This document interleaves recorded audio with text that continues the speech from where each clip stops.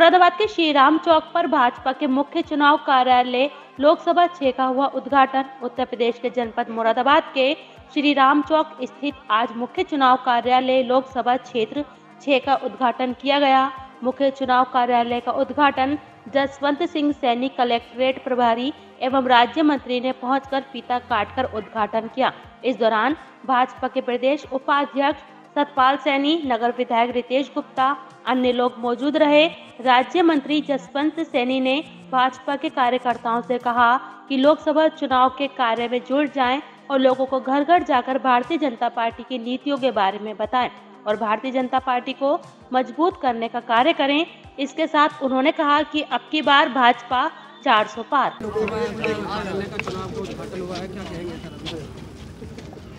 आज मुरादाबाद लोकसभा चुनाव कार्यालय का उद्घाटन हुआ है और अभी चुनाव की तैयारियाँ शुरू हो गई हैं। भारतीय जनता पार्टी मुरादाबाद सहित उत्तर प्रदेश की 80 की 80 लोकसभा जीतने के लिए प्रतिबद्धता के साथ लगी हुई है और जनता का जिस प्रकार से आशीर्वाद भारतीय जनता पार्टी के साथ है मैं निश्चित रूप से कह सकता हूँ कि मुरादाबाद सहित उत्तर प्रदेश के 80 की 80 लोकसभा सीट जीतेंगे। अभी मुरादाबाद में कैंडिडेट का नाम फाइनल नहीं हुआ है और आसपास की जो सीटें हैं उनमें कहीं ना कहीं नाम फाइनल हो गया। क्या माने प्रक्रिया है। पार्टी ने जहाँ अच्छा लगा वो घोषित कर दिया। यहाँ भी जल्द ही घोषित हो जाएगा और फिर कमल का फूल हमारे साथ है।